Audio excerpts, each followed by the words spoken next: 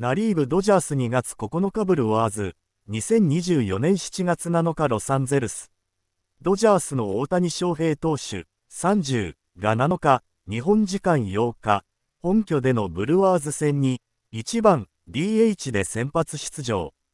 第2打席で2試合連続の安打を放ち、球団新記録となる救援前の221塁打をマークした。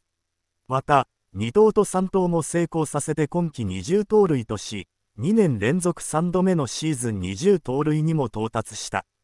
この日は5打数1安打、打率314。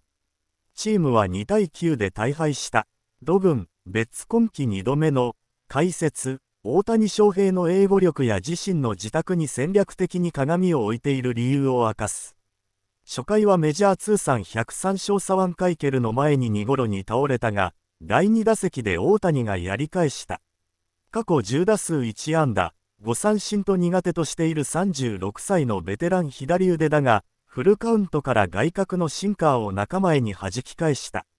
これで今季221塁打、救援前に221塁打に到達するのは、2019年のコディ・ベリンジャー、現カブス、の220塁打を抜いて球団新記録となった。さらに大谷は次打者スミスの打席で2度を試みたが、スミスの打撃妨害で盗塁は取り消し。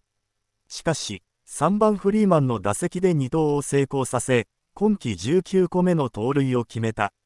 さらにフリーマンが死球で歩いて2死1、2塁となったところで大谷とフリーマンがスタートを切ってダブルスチールを決めた。この盗塁で大谷は2年連続3度目のシーズン20盗塁に到達した。これで年間35盗塁ペースとなり、打率3割、30本塁打、30盗塁の初のトリプルスリーも視野に入ってきた。イエリチのツーランで先制された直後の4回は西1、2塁で大谷に第3打席が回った。ここはフルカウントまで持ち込んだが、2球チェンジアップをファウルした後のシンカーを引っ掛けさせられて2ゴロに倒れた。